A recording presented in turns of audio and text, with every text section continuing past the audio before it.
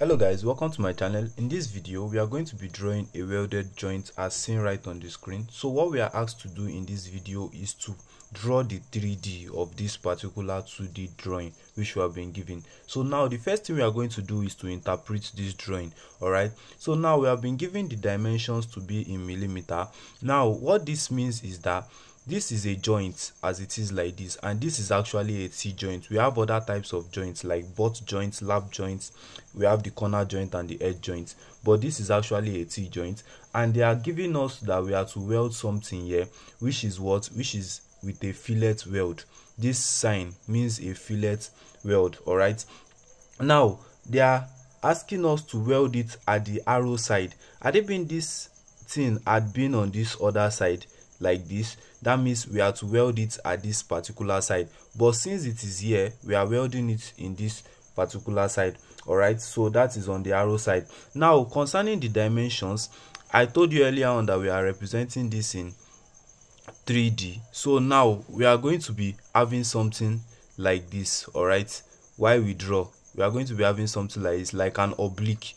So this 60 millimeter right here is for the length all right is for this length of the oblique okay? Now this 10 and 20 is for the fillet okay? This 10 by 20 is for the fillet now for the 10 millimeter we are asked to um put our dimension in millimeter. For the 10 millimeter it represents this straight line of the fillet. When we have something like this all right we are going to have our drawing to be like this. So our fillet is going to be in this manner okay so this 10 millimeter represents from here to here okay and this 20 millimeter represent from here to here of the fillet. So let's start drawing. As soon as i draw you are going to get to understand. So the first thing we are going to do is to draw the reference line all right and we have been given the length okay this is like the front elevation to be of what? 100 millimeter. So i'm going to pick 100 millimeter i'm going to pick 100 millimeter. That's 10 centimeter on my ruler. Okay now we are drawing an oblique all right so i'm going to pick my 45 degree set square. Then at this point i'm going to draw a straight line like this. Then also draw a straight line upward okay we might not allow it to be up to this okay in this manner. Now at this point also we are going to do the same thing. We are going to draw a straight line upward like this in this manner.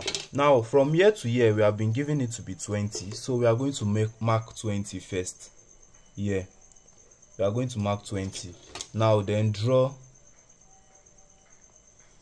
like this okay so at this point also we are going to draw our straight line like this also in this manner. Now like i said the length of this place is 60 as given in this place.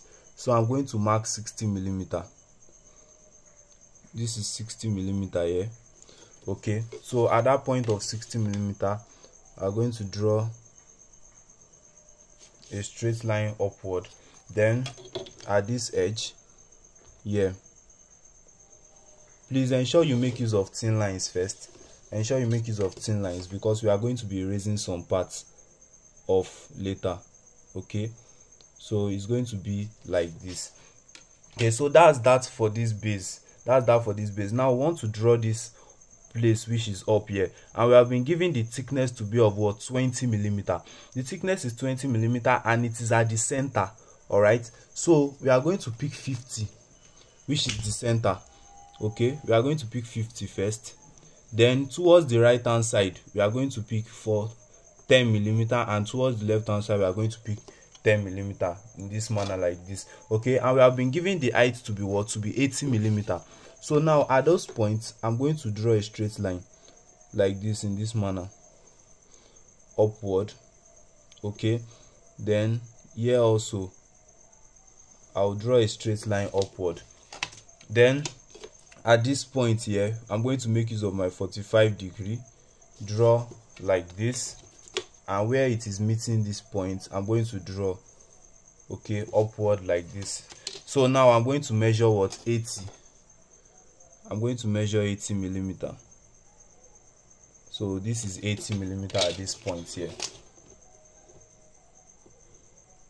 So i'll draw like this then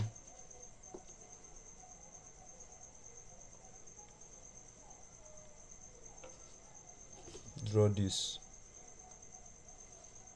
draw this. Let's extend this a little bit upward.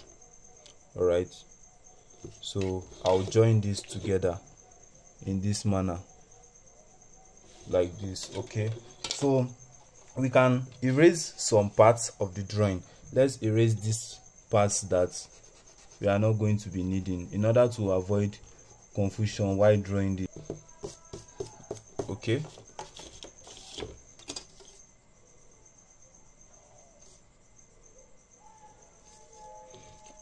So that's that for the oblique block first. That is the first thing we have to draw.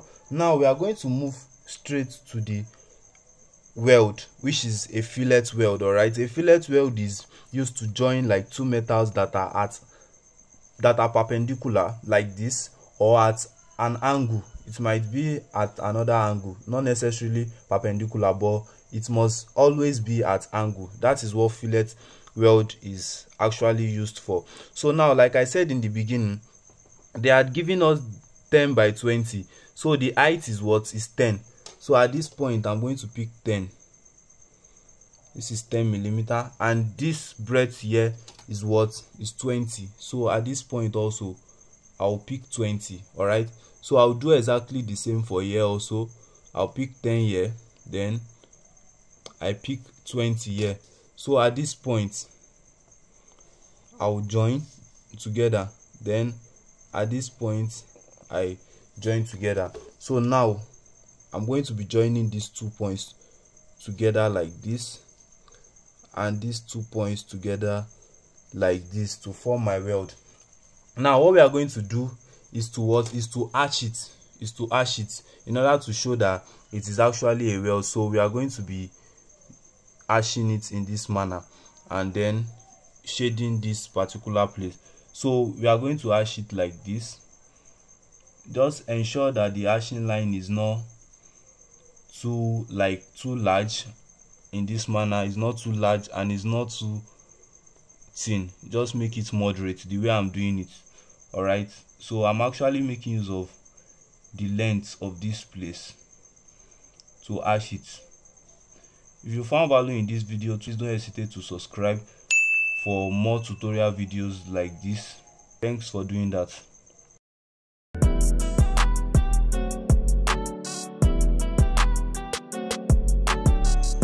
okay so this is it here and we can likewise also shade these parts all right these parts here.